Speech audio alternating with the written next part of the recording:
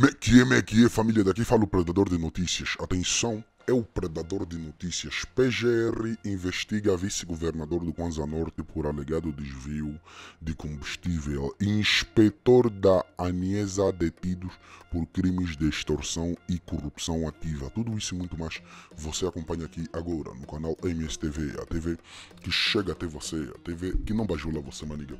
E a família, como eu disse no início do vídeo, você deve ter visto ontem que ver o vídeo novo. É isto mesmo, né? A PGR investiga vice-governador do Kwanza Norte por alegado desvio de combustível.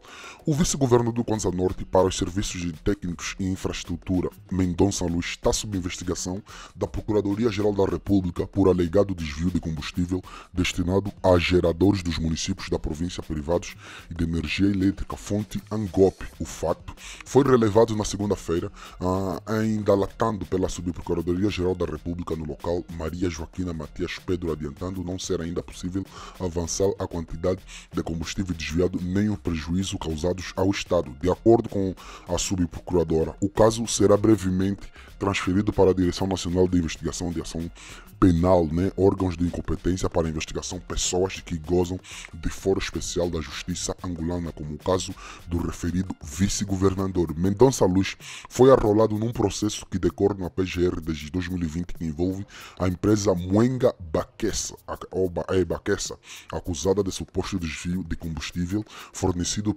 pela Prodel para a iluminação de municípios sem energia elétrica da rede pública e apoio a, uma, a um programa, ao programa de Prevenção e Combate à Covid-19 na província. A empresa gerida pela Maria Emília da Cunha e Bernardo Francisco, filha e, e cunhado do governante, também é acusada de apropriação indevida da instalação e equipamento, tratores, viaturas e máquinas do Instituto de Estrada de Angola, que é o INEA, que tem como diretor Mendonça Luiz, que desde 2018 acumula o cargo uh, de, com, de vice-governador para os serviços técnicos e infraestrutura.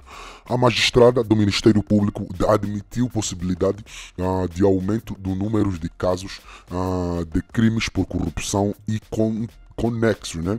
em função das denúncias que vão surgindo, salientou que em 2020 a PGR recebeu 20 a 45 denúncias de casos de peculatos ah, de crimes conexos, tendo resultado ah, na abertura de 44 processos de inquéritos e na constituição de 20 arguidos. Entre arguidos constam três administradores municipais, dois artigos administradores municipais adjunto e 15 funcionários públicos, desde ex-diretores e escolas escola e de gabinetes municipais, assim como chefes e secretaria da administração municipais. A, a esses arguidos foram aplicadas medidas de coação previstas na Lei das Medidas de Coação Pessoal em processo penal, exceto a prisão domiciliar por falta de condições para sua efetivação. As medidas de coação pessoal previstas além da prisão domiciliar são do termo de residência e identidade de prisão preventiva, na, esta última a mais gravosa. Um desses processos aguarda julgamento e dois serão submetidos ao tribunal nos próximos dias, né? É isto mesmo. Um, e também, né, ainda o Clube Capa escreve aqui que inspetores da Niesa, né, detido por crimes de extorsão e corrupção ativa, tá a entender? É isso mesmo. O Serviço de Investigação Criminal, numa operação conjunta com a Inspeção Geral do Trabalho, né, da Administração do Estado, deteve esta segunda-feira, 25 de janeiro, em Luanda, 12 inspetores da Autoridade Nacional de Inspeção Econômica e Segurança Alimentar alimentar a Niesa, nomeadamente Maria Antônio Diogo Luiz e Marley Cláudio Mucanzo, por cometerem crimes de extorsão e corrupção ativa, tipificados nas leis em vigor. Fonte Clube Capa, né? E há o os exortonistas foram detidos em flagrante delito quando efetuavam uma cobrança ilegal de 280 mil kwanza ao gerente de um estabelecimento que de venda a grosso de medicamentos eh, denominado Lua Comércio Geral Limitada, localizado na Rua da Farmácia, no bairro Calemba 2, no município do Quilamba Quiache. Segundo apurou o Clube Capa, os inspetores de cal, em causa, ah, Marley Cláudio ah, Mucanza e Maria Antônio Diogo Luz estavam devidamente credenciados e autorizados pela estrutura máxima da Niesa a realizar serviço expressivo no município de Talatona por um período de 15 dias, mas optaram a realizar serviço inspectivo no município de Talatona, ah, yeah, mas optaram por desrespeitar a orientação dada para a, a atormentar a direção daquele estabelecimento comercial, né? Ah, mas antes, os inspetores do Departamento de Inspeção e Fiscalização da Inesa efetuaram uma vistoria ah, aturada no referido estabelecimento, tendo constatado suposta irregularidade, obrigaram o comerciante a pagar uma quantia de 280 mil kwanza como formas de evitar uma multa pesada e consequente encerramento temporário do estabelecimento, revelou uma fonte ah, do SIC. Em descordo com a exigência dos inspetores, o comerciante similou concordar com a dupla, enquanto estes esperavam pelos valores, a vítima acionou o 119 número de denúncias do IGAI, que prontamente compareceu no local da ocorrência e já acompanhada dos serviços de investigação criminal e procederam à detenção dos dois inspetores.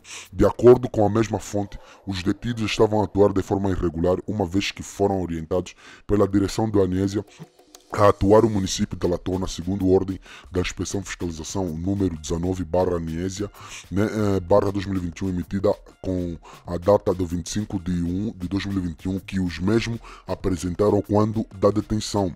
Não se sabe de concreto se os mesmos terão encontrado alguma irregularidade e omitiam ah, no documento que pretendiam passar ao comerciante, mas o que ficou registrado é que afinal da suposta visita ah, os dois inspetores efetuaram uma cobrança ilegal de 280 mil kwanza e foram surpreendidos pela mesma equipa do SIC e IGAI no momento em que recebiam sem menor pudor os valores. O clube capa soube que após da detenção os dois inspetores em prantos e lamentos foram conduzidos ao departamento contra crimes econômicos e serviços com investigação criminal, cito no Kinaxix, para prestarem declarações necessárias.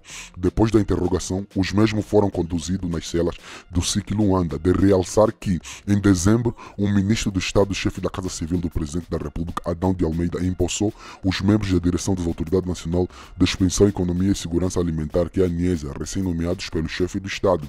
No cumprimento de poderes né, a delegados do pelo Presidente da República, João Lourenço, o ministro de Estado impulsou então diretor do INADEC, Diógenes de Oliveira, para o cargo de inspetor-geral uh, e Domingo Antônio Mucumbi e Cristiano Francisco, este último, este último responde pelo Departamento de Inspeção e Fiscalização como inspetor gerais adjunto, criado através do Decreto Presidencial número 267, 20 de 16 de outubro, publicado a 14 de dezembro, a ANIESA é o órgão ah, encarregue da inspeção das atividades econômicas, resulta da unificação dos serviços afins ah, anteriormente desenvolvidos pelos setores da indústria, comércio, turismo, ambiente, transporte, saúde, agricultura e pescas, né? Fonte Clube K.net, né? O vídeo de hoje foi esse. Se vocês não sabem o que fazer, se inscreva no canal, ative as notificações, partilhe o vídeo, comenta, porque isso também é notícia.